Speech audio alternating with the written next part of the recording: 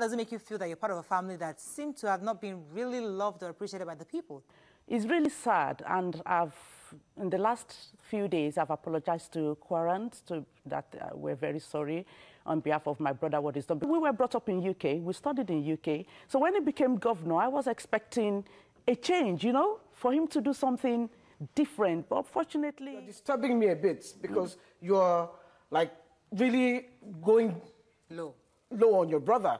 Thing you should realize, but yeah, that doesn't stop me in telling the truth. When I was campaigning, I told people that yes, politicians use you as stock. They give you knives, they give you everything. You go there, kill yourself. Meanwhile, their children are abroad studying. So even though we're the same blood, we have different mindsets, we have different spirit, even even different upbringing. Even if we're twins and they're identical, you see it's a different thing.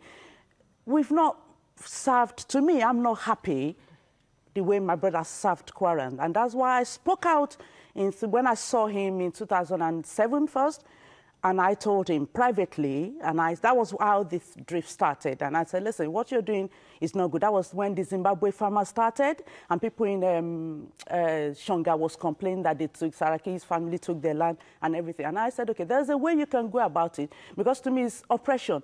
I lived in UK. You don't do such things. You don't Okay, let me, oppress me people come, like let, that. me, let me come to, to you. I'll come to you right here. I also come from a polygamous family, and my mother is the first wife. So I understand how this thing somewhat plays out. A child who we hear about somewhere, we don't know you. My father didn't officially tell me that you're my sibling, you're my sister, and we just heard of you. You show up. There's always a part of humility that comes in. Okay, you know what?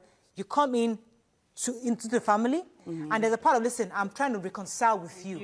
If you come in with, listen, you guys have messed this, this place up, I'm the child, I'm a legitimate child, I'm this. If you come with that kind of arrogance, people, they, will- they will definitely, they will be repulsive. So do you think you played that humility card of, listen, guys, yes, I've been out of there, I'm back now, receive me, welcome me, reconcile me with the family, or did you come with the arrogance that said, you know what, we don't even want a part of you? can do this better. I was never out there. They know I exist. We're different mother. Everybody knows each other. Okay. But when it comes to politics in this Right. country, Right. you just say what you want people to know. Okay. You understand? All So everybody knows who Baba's children are. As you've said, you all know. But when it comes, or especially when you're not agreeing with the other party, Right. they tend to paint you as, oh, you're the rebellious child, you're the this Your child, child, father, child. your- your father was um, chairman of Societe Generale, That's correct. and it chopped people's money.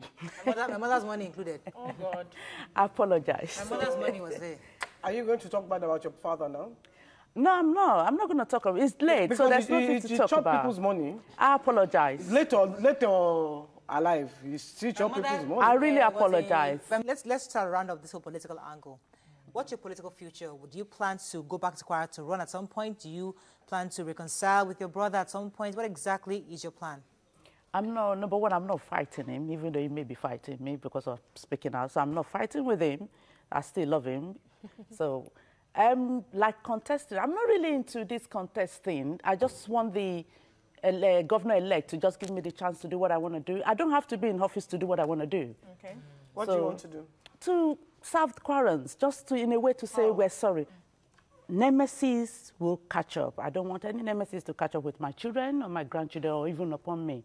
Because once you cause, like what um, your colleagues have said, that the parents had money in this bank and it collapsed, do you know what pain they would have gone through at that particular time? I don't want my children or myself, I don't want any curse upon myself or my children, so that's why I'm saying the truth out. My, uh, my brother has not served Kwarans the way he's supposed to, and I apologize. What would he have Did done your father